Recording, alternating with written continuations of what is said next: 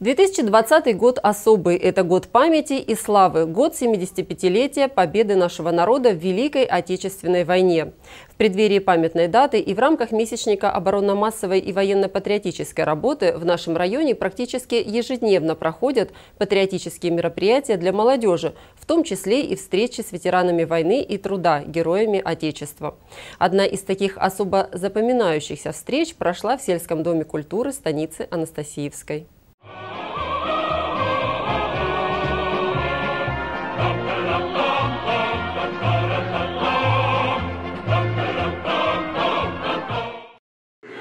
Здравия желаю, товарищи!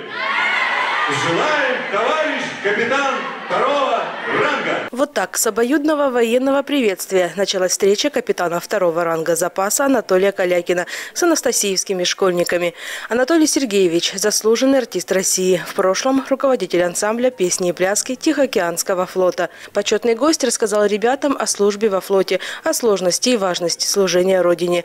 Ну и, конечно же, исполнил всеми любимые фронтовые песни.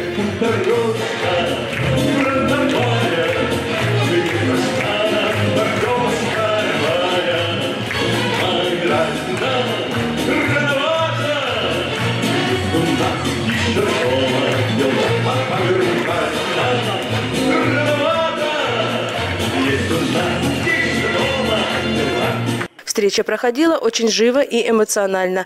Ребята вместе с артистом пели, отвечали на его вопросы, делились воспоминаниями о своих прадедах, воевавших на войне. Мой дедушка э, выжил в войне, э, умер в 2007 году до моего рождения. Ушел на фронт 18 лет, сражался за родину. Я очень сильно им горжусь, то, что он защищал нашу родину от всех э, немцев. А у тебя портрет есть твой, твой портрет? Да. И на 9 мая вы, вы носите его? Да. Аплодисменты. Я с удовольствием тебя награждаю. В честь твоего дедушки тоже будет эта песня. Что? Служу России. Со сцены сельского дома культуры в этот день прозвучало немало имен анастасиевцев, защищавших родину в годы Великой Отечественной войны, и память о которых хранят их правнуки. Встреча с капитаном второго ранга Анатолием Калякиным прошла легко, музыкально и очень ярко. Наверняка она надолго запомнится анастасиевским школьникам. Анна Монастыренко, Георгий Калинин. Программа «События».